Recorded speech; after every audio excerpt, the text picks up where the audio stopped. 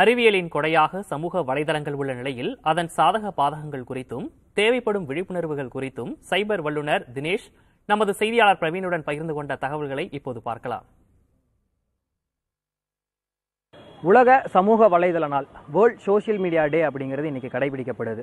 Smart phone வச்சுருக்கிற எல்லாருமே ஏதாவது ஒரு சோஷியல் ஆப்பை யூஸ் பண்ணுறவங்களா தான் இருக்காங்க. டெக்னாலஜி வளர்ந்துட்டு இந்த காலத்தில் சோஷியல் மீடியா மூலமாக ஏகப்பட்ட நன்மைகள் இருந்தாலும் அதை வச்சு குற்றங்கள் அப்படிங்கிறதும் வந்து அதிக அளவில் நடந்த வண்ணமே இருக்குது இந்த சோஷியல் மீடியா அப்படிங்கிறது எந்த அளவுக்கு ஆரோக்கியமானதாக இருக்கிறது எந்த அளவுக்கு ஆபத்தானவையாக இருக்கின்றன எத்தகைய விழிப்புணர்வுடன் நாம் இருக்க வேண்டும் என்பவனை குறித்து பேச நம்முடன் சைபர் வல்லுநர் தினேஷ் பராந்தகன் இணைந்துள்ளார்.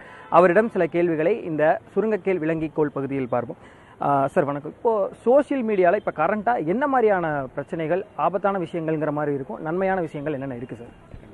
ஸோ இன்றைக்கி இப்போ நம்ம பார்த்தோம் அப்படின்னா நிறைய பேர் நிறைய பேர் சோஷியல் மீடியா அப்படிங்கிற ஒன்று வந்து யூஸ் பண்ணிட்டு வராங்க. எல்லாருமே வந்து இப்போது நானும் சோஷியல் மீடியாக்குள்ளே போகணும் அப்படிங்கிறனால ஒரு எந்தோவில் ஜஸ்ட் வந்து சோஷியல் மீடியாக்குள்ளே ரெஜிஸ்டர் பண்ணி உள்ளே வந்துடுறாங்க.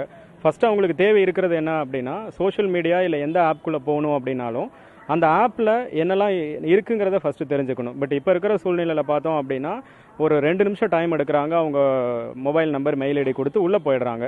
பட் உள்ளே வந்து பெரிய பெரிய பிரச்சனைகள் இருக்குது சார் இப்போ நல்லதை காட்டிலும் இப்போ கெட்டது அப்படிங்கிறத வந்து நம்ம தேடாமே அங்கே வரும். அப்போ நல்ல விஷயங்கள் அப்படிங்கிறப்ப நம்ம தேடி போய் பார்க்க வேண்டியதாக இருக்குது மோஸ்ட்லி வந்து சோஷியல் மீடியாவில் நல்லதும் இருக்குது கெட்டதும் இருக்குங்க சார் இப்போது சோஷியல் மீடியாஸில் பார்த்தோம் அப்படின்னா ஒரு ஒரு சினி ஃபீல்டில் இருக்கிறவங்களுக்கு கிடைக்கக்கூடிய அளவுக்கு ஒரு பிரபலம் வந்து இப்போ சோஷியல் மீடியா லெவல்லையும் கிடைக்குது. அது கிடைச்சதுக்கு பிறகு இப்போ பார்த்தோம் அப்படின்னா இப்போ இன்ஸ்டாகிராம் இன்ஃப்ளூயன்சர்ஸ் அந்த மாதிரி பார்த்தோம். சோஷியல் மீடியா ஆப் மூலியமாகவே வந்துட்டு இப்போ இந்த கொலாப் ப்ரொமோஷன் அந்த மாதிரிலாம் போகுது. பெரிய அளவில் டெக்னிக்கலாக தெரிஞ்சவங்க வந்து இதில் ஸ்கேம்ஸில் மாட்டுறதில்ல. ஆனால் வந்துட்டு ஒரு ரொம்ப பெரிய அளவில் தெரியாதவங்க ஸ்கேம்ஸில் மாட்டுறாங்க. இந்த இந்த கொலாப் அப்படிங்கிற விஷயத்துலலாம் என்ன மாதிரியான சிக்கல்ஸ் இருக்குது? சார் இப்போ சோஷியல் மீடியாவில் ஒருத்தவங்க என்ன பண்ணுறாங்க அப்படின்னா அவங்க ஃபாலோவர்ஸ் இன்க்ரீஸ் பண்ணிக்கிறாங்க. அதில் நல்ல பர்சன்ஸும் ஒரு சிலவங்க வந்து ஜென்யூனாக கண்டென்ட் தெரிஞ்சு இது மாதிரி விஷயங்கள் பண்ணணும் பண்ணக்கூடாது அப்படின்னு சொல்லி பண்ணுறாங்க இப்போ ஒரு சில விஷயங்கள் பார்த்தீங்க அப்படின்னா ஒரு சிலவங்க ப்ரமோட் பண்ணுறப்ப தேவையில்லாத அப்ளிகேஷனுக்கு ப்ரமோட் பண்ணுறாங்க பார்க்குறவங்க என்ன நினைப்பாங்க அப்படின்னா நம்ம ஒரு ஆறாயிரம் இல்லை ஆறு லட்சம் பேர் ஃபாலோவர்ஸ் இருக்காங்க. இவங்க சொன்னால் நல்லா தான் இருக்கும் அப்படிங்கிறாங்க. அப்போ நம்ம எதோ ஒரு விஷயம் நமக்காக வாங்குறோம் அப்படின்னா ஃபஸ்ட்டு அந்த விஷயம் வந்து நல்லதா கெட்டதா இது வாங்கணுமா வேண்டாமா ஸோ அப்படிங்கிற விஷயத்த கொஞ்சம் அனலைஸ் பண்ணிட்டு அதுக்கப்புறம் நம்ம வாங்குறோம் அப்படிங்கிறப்ப கரெக்டாக இருக்கும். கோலாப் அப்படிங்கிறப்ப பொதுவாக எல்லாருமே பண்ணுறது தான் சார் அதில் எல்லாமே நல்ல க கெட்டது அப்படின்னு சொல்லி நம்ம எடுத்து சொல்லிட முடியாது. பட் நம்ம ஒருத்தவங்கள ஃபாலோ பண்ணுறோம் அப்படிங்கிறப்ப ஃபஸ்ட்டு அவங்கள பற்றின டீட்டெயில் எல்லாம் அண்டர்ஸ்டாண்ட் பண்ணிவிட்டு அவங்க நமக்கு பர்சனலாக தெரியுமா? இல்லை அட்லீஸ்ட் வந்து நம்ம ஃப்ரெண்ட்ஸுக்கு தெரிஞ்சவங்களா? அவங்களோட ப்ரொஃபைல் என்ன அப்படிங்கிறத அனலைஸ் பண்ணிவிட்டு அப்புறம் அவங்க சொல்லக்கூடிய விஷயங்களை நம்ம எடுத்துக்கலாம்.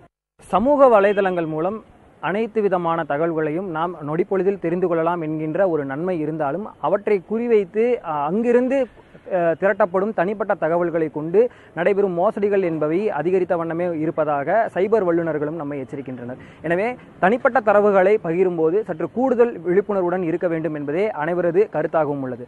புதிய தலைமுறைக்காக கோவையிலிருந்து ஒளிப்பதிவாளர் முத்துப்பாண்டியுடன் பிரவீன்குமார்.